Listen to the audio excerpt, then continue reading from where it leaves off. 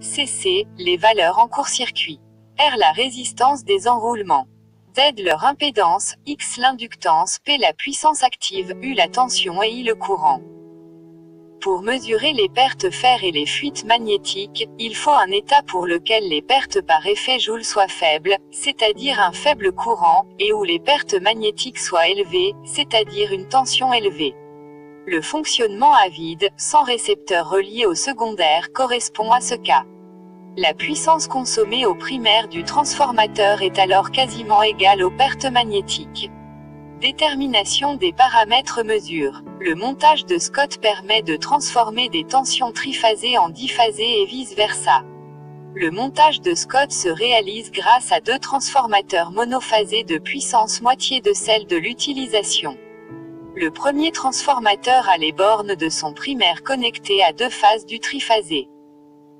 Le second transformateur est connecté entre la prise centrale du premier transformateur et la phase restante du triphasé. Le rapport de bobinage du premier transformateur est égal à 1 alors que pour le second il est égal soit environ 0,866. Les tensions au secondaire sont égales en norme et déphasées de 90 degrés. Autrefois très utilisés, les systèmes biphasés ont progressivement laissé leur place au système triphasé. Le transformateur de Scott est toutefois toujours utilisé en électronique mais aussi en production, distribution et transmission d'électricité si le diphasé est encore présent. Dans le cas de récepteurs monophasés de forte puissance, four électrique monophasé, le montage Scott permet de réaliser l'équilibrage sur le réseau triphasé. Démonstration de la transformation triphasée-diphasée.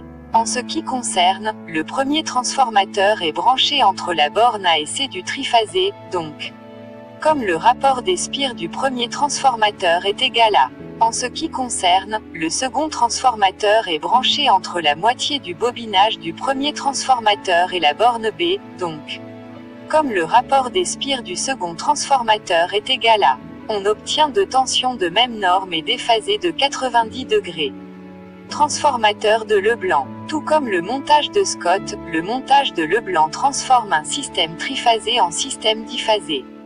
Les deux montages sont électriquement équivalents. Le montage de Leblanc utilise un circuit magnétique triphasé. Son primaire est connecté en triangle, ce qui a pour effet de supprimer la troisième harmonique. Bien que connu depuis la fin du X siècle, le montage de Leblanc connut moins de succès que celui de Scott. Dans un montage Leblanc, si les intensités diphasées sont équilibrées il en est de même des intensités triphasées. Le théorème de Leblanc énonce qu'une bobine alimentée par une tension alternative et créant de ce fait un champ magnétique pulsant le long de son axe, crée deux champs magnétiques de même module, tournant en sens inverse. Ce théorème constitue la base théorique du fonctionnement des moteurs asynchrones monophasés. Article détaillé, biphasé-diphasé. Transformateur de Scott. Diagramme des transformateurs de Scott. Le montage de Scott permet de transformer des tensions triphasées en diphasées et vice-versa. Le montage de Scott se réalise grâce à deux transformateurs monophasés de puissance moitié de celle de l'utilisation. Le premier transformateur a les bornes de son primaire connectées à deux phases du triphasé. Le second transformateur est connecté entre la prise centrale du premier transformateur et la phase restante du triphasé. Le rapport de bobinage du premier transformateur est égal à 1 alors que pour le second il est égal à soit environ 0,866. Les tensions au secondaire sont égales en norme et déphasées de 90 degrés.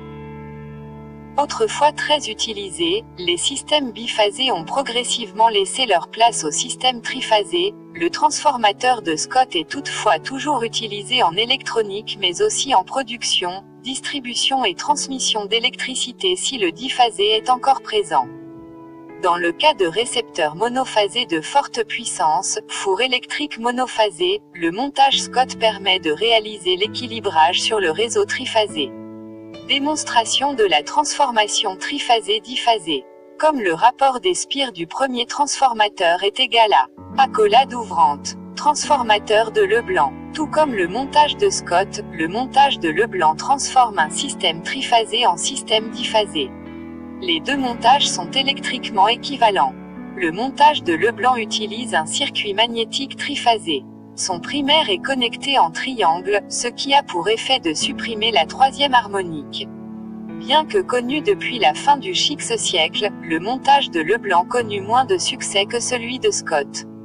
Dans un montage Leblanc, si les intensités diphasées sont équilibrées il en est de même des intensités triphasées.